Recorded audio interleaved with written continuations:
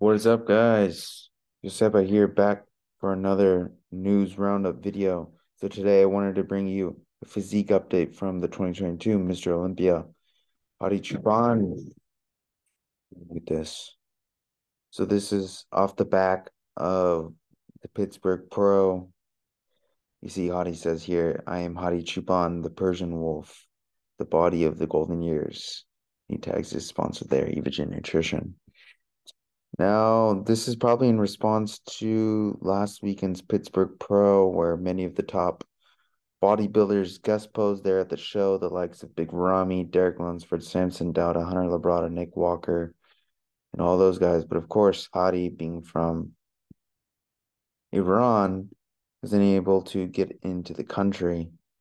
So he's just making sure nobody's forgetting about him here. We see him hit a most muscular pose. Look at that. Still super sharp, great condition considering he's in his off season. He says here, go back to the house of playful children, run, go home, run. I don't think, to be honest, that he speaks very good English. I'm sure he just used Google Translate to get his point across, but I don't think he wants anyone to forget about him. Here's another physique update from him. His back is looking really thick, cool. He gets into a back double bicep, I believe. Or no, rear lat spread. Looking pretty damn good. So that's a recent update from our Mr. Olympia, Hadi Choopan. I expect him to be up there defending his title come November. Certainly going to be the favorite to win. Someone's going to have to knock him off his perch. Next up, I wanted to bring you a physique update from Justin Shier. Now, Justin is 10 weeks out from the Chicago Pro. He shows us here front relaxed and a front double bicep. He looks like he's on track. His condition is pretty damn good 10 weeks out. He has lines in his quads, arms are big, the waist is shrinking, flaring lats from the front. He's not really missing anything. He has crazy proportions. And he certainly is going to be in the running for the win at the Chicago Pro in 10 weeks time. Next up, we have a we have a physique update from his main competition in the Chicago Pro, Blessing Awodibu, the boogeyman. Let's see if this year is the year he can bring the BBE. Last year, Blessing won two pro shows, the New York Pro and the Indy Pro. His first two pro wins. This year, he's looking to get back redemption after not placing in the top 15 in last year's Olympia. Lots of questions and doubts regarding his legs as his biggest weakness, but we see that that imbalance has come up. He has the one leg that's a little bit smaller than the other, but the legs, the quads look much, much better than what we saw from him at the 2022 Mr. Olympia. He's a very aesthetic guy, little bitty waist, huge upper body. That's never been a doubt for him. Now, since the Olympia, he's no longer working with George Farah. He's coaching himself. So we'll see what kind of condition he can bring to this year's Chicago Pro. Blessing will be doing the Chicago, the Tampa, and the Texas. He's going three for three. I interviewed him over at the Arnold earlier this year, and he says that's the goal. Go three for three, bring it to the Olympia, and bring that BBE. All right, next up in the news, we have a physique update from Ross Flanagan, the owner of Flavor Gang. I showed you guys a physique update from him last week. So here he says he is one and two weeks out of the Cal Pro, Cali Pro, excuse me.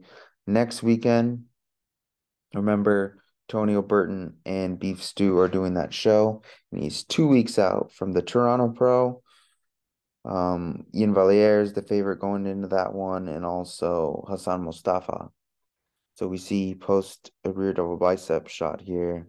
He's pretty much he's ready. I mean, he's just cruising the show now. The back is stripped, the glutes are in, the hamstrings are peeled. Everything looks so put together. He works with Dominic Cardone. You see, he also posts here a rear lat spread. He he's has a pretty damn impressive physique. He also posts a transition going into his side chest. See the side leg with the hamstring drop, huge quads, super round, full, big chest, big delts. He doesn't have too many weaknesses. I mean, last year his main weaknesses were his glutes and his back, but he's looked to have brought those up. So yeah, he's going to be one of the top contenders going into the Cal Pro. I'm sure he's going to win the show, but in all honesty, I think Tony Burton will have too much for him. Realistically, I think he could finish top three. So next up, I want to show you guys a physique update from the 2023 Arnold Classic champion, Ramon Dino. So Ramon, you see here, he's super round, full. In my opinion, this is a much better look to anything he's brought on stage. Obviously, he's not in contest condition, but he's much fuller, much rounder. And it's because he doesn't have the burden of the weight cap. Here he says he's weighing it at 114 kilos. That is 14 kilos heavier than his stage weight.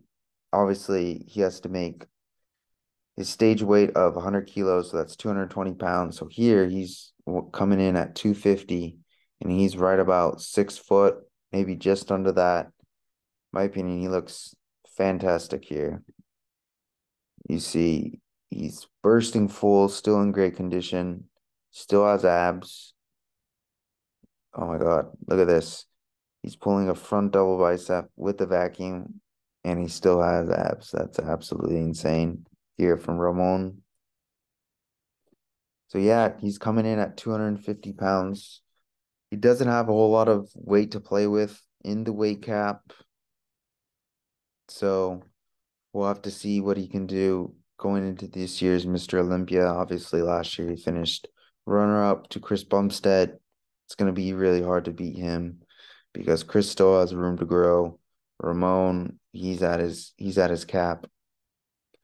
So yeah, those are the updates for today. Thank you so much for watching, guys. And if you enjoyed it, please leave a like, comment, subscribe for more content content, excuse me. And I'll see you guys next time. We're out.